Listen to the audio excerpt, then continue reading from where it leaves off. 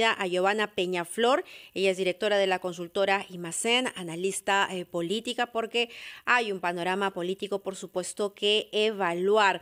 Eh, muy buenos días, señora Peñaflor. Muy buenos días, Mabel.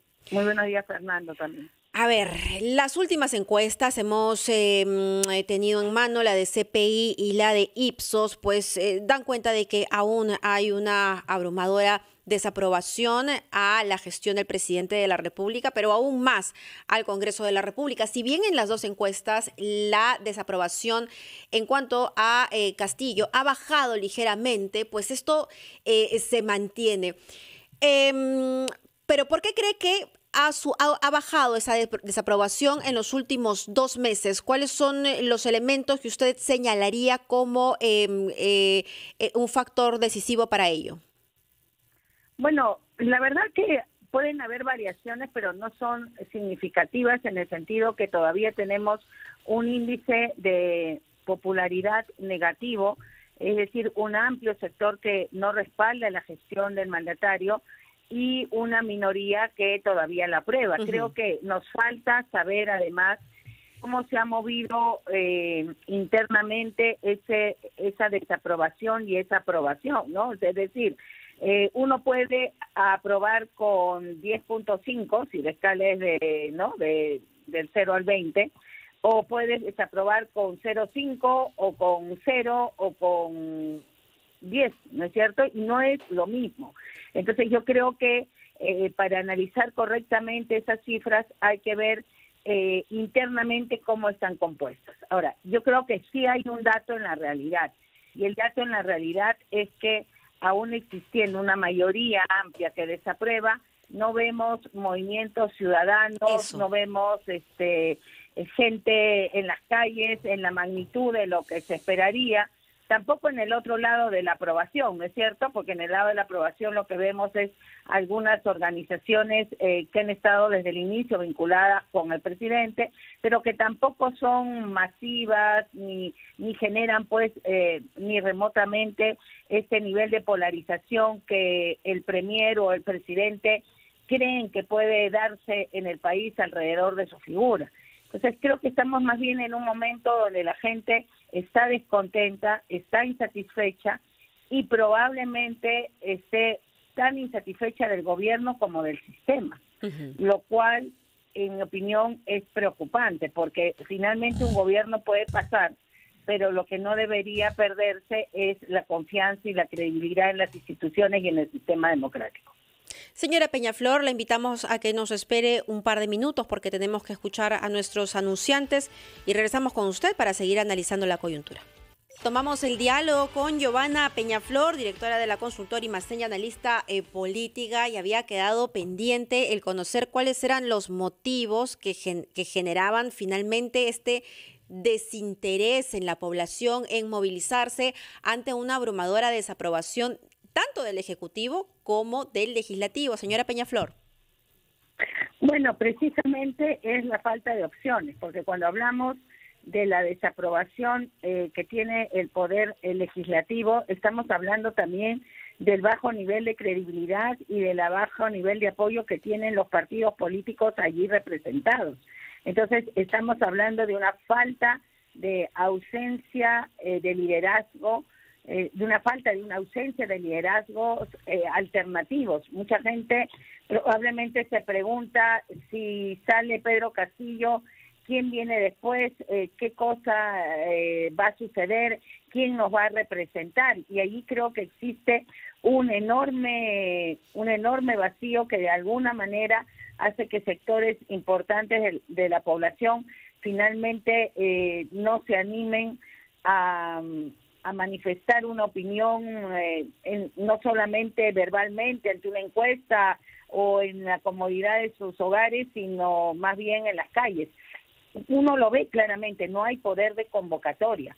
Y ese es eh, la principal ventaja, creo yo, con la que cuenta el actual mandatario. Señora Peñaflor, nos ha dicho que hay un vacío de liderazgos alternativos, lo cual según usted causa que muchos, muchos peruanos no se animen a participar.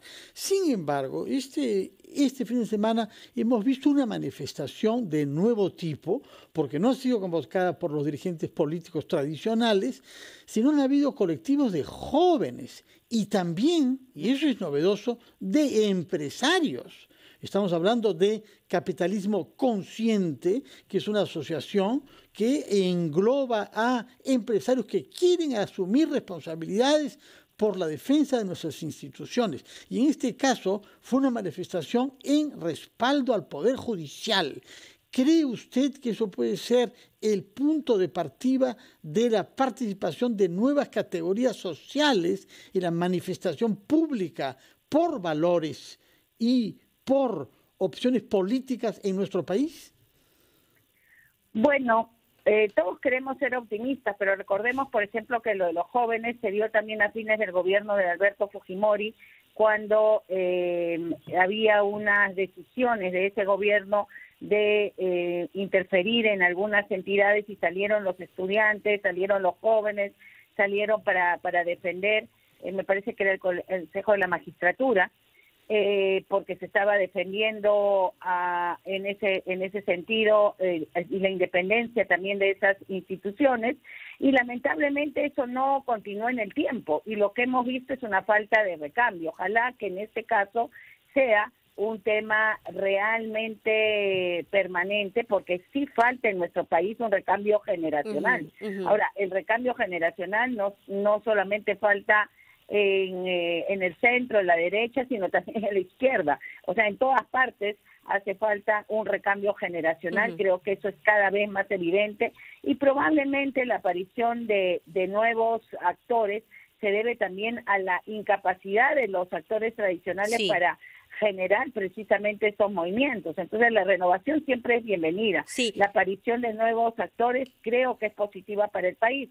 Ojalá que puedan generar visiones convocantes a más allá de, ser pequeños grupos, porque ese lo que se necesita es extender esas visiones a la mayoría de la población. Señora Peñaflor, eh, mi última pregunta insiste en la primera que le hice, porque son tres encuestas, tanto CPI como IEP como Ipsos, que eh, demuestran en las encuestas que hay un ligero, hay que decir, la desaprobación sigue siendo abrumadora, pero dentro de ello la desaprobación ha disminuido. Me refiero a la gestión del presidente Castillo. ¿A qué se debe? ¿Cómo se explica ello que la desaprobación ha disminuido ligeramente cuando tenemos un presidente con seis investigaciones, ¿no? Con este lío en torno a su familia, con las delaciones de Bruno Pacheco? ¿Por qué? Bueno, eh, allí están los temas económicos, eh, digamos, en términos eh, de inflación, en términos de, de subida del combustible, que en relación a otros países de América Latina que están bastante más complicados, aquí parecieran estar en cierta estabilización. A las personas no le interesan las razones, el tema más macro, si está bien manejado, si no está bien, si finalmente estamos desaprovechando oportunidades o no. A la gente lo que le interesa, y a ciertos sectores también, eh, digamos, eh, de menores eh, ingresos, que ahora son un sector más mayor después de la pandemia en nuestro en nuestro país solucionar el problema concreto. Ahora, yo definitivamente no creo que esa ligera subida signifique una reversión. Lo que sí creo es que es importante tener en cuenta que nosotros hemos tenido presidentes con 8% eh, de aprobación, ¿no es cierto? Y que duraron y terminaron su mandato, Toledo, por ejemplo. Y Alan García, su primer gobierno lo terminó también más o menos con ese porcentaje, 5 o 6%, después de empezar muy arriba. Entonces, el problema es la aprobación, yo creo que no, es la crisis política. O sea, uno puede imaginarse cuatro años más de el actual presidente en este estado de, enfrentamiento entre poderes, ¿no es cierto? El poder eh, judicial, el, el, poder legislativo y el poder ejecutivo, no. La verdad es que la institución presidencial está sufriendo mucho daño, independientemente de quién la ocupe, ¿no es cierto? Eh, pensemos en lo que está pasando con la institución presidencial y lo que va a pasar con el siguiente que venga sea que termine este eh, Pedro Castillo su mandato, o sea que venga otro. Entonces estamos debilitando ese proceso y no es posible pensar que se pueda continuar así más tiempo. Entonces, más allá de que la popularidad eh, del presidente suba uno, dos o tres puntos, ¿no es cierto? Este, que además para hacer tendencia requiere permanecer en varias mediciones y no solamente ser una, una mejora con una medición anterior, está el hecho de fondo, que es que es un personaje que no puede convocar personas para su gabinete. Es una de las razones por las que no cambia al Premier, ¿no es cierto? Aparte de lo que puedan decir que Globo de Ensayo, si quisiera hacerlo, ¿por quién lo va a cambiar? ¿A quién puede convocar? Sigue, sigue sin poder eh, tomar medidas de mediano y largo plazo para el país, porque no puede pensar más que en los problemas que tiene actualmente. Entonces, en esas circunstancias es imposible un gobierno viable. Muchísimas gracias a Giovanna Peñaflor, directora de la consultora Imacén y también analista política. Son las nueve de la mañana.